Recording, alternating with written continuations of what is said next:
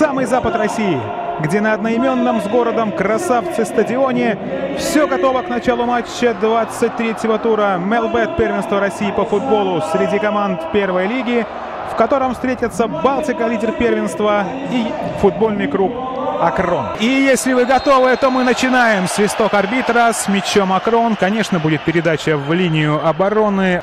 И пора кому-то мяч опустить. А он отскакивает штрафную. Мусаев вновь мог быть первым на мяче, но пока все читает и здорово играет Сережа Волков.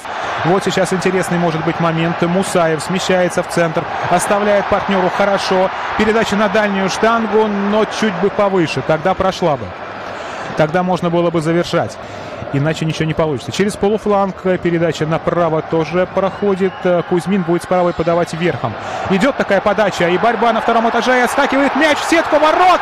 Да или нет? Да! Балтийцы в борьбе забивают. И это было видно, что этим все и закончится. Ян Казаев.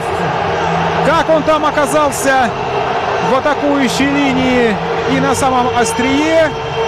Но вот тут в борьбе получил э, Макаров повреждение, мы видим. Не случайно э, своя футболка для этого имеется. Подача на дальнюю штангу, сброс э, в площадь ворот, но там только игроки Акрона. И вот сейчас вновь балтийцы поднадавили. И успех уже стоял за спиной Балтик. Мусаев. Штрафную подача. Понце подталкивают. Падение в штрафной. Арбитр смотрит как на это. Пенальти?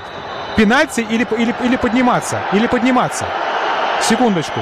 Подниматься. Нет, желтую выдает Тон Дудиеву, я так понимаю. Или Латышонок или Понсе. Можно!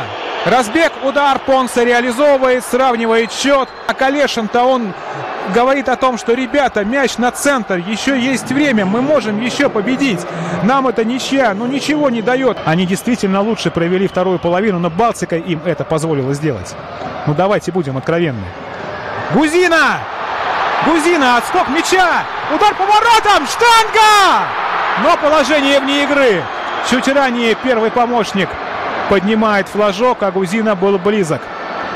Итак, матч закончен, отданы все силы. Счет ничейный 1-1.